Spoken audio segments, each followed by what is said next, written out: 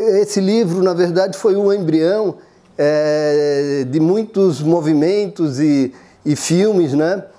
E como diz o Salim Miguel aqui no, no, na epígrafe de um capítulo, que é muito legal, que ele diz assim, chega um dia em que a sala escura não basta, há necessidade daquele que se interessa por cinema é, fazer também suas tentativas, né? ou seja, produzir. E foi o que aconteceu com muitos de nós, eu, Chico e Paredes, e, né, que partimos para a produção. Então, esse livro, embora a pesquisa eu considere pouco aprofundada, minha, a, os dois primeiros, o Julianelli e Balgarten, eu aprofundei legal na minha tese de mestrado, que também foi publicada, mas ele assim teve desdobramentos, é, é, muitos desdobramentos, né?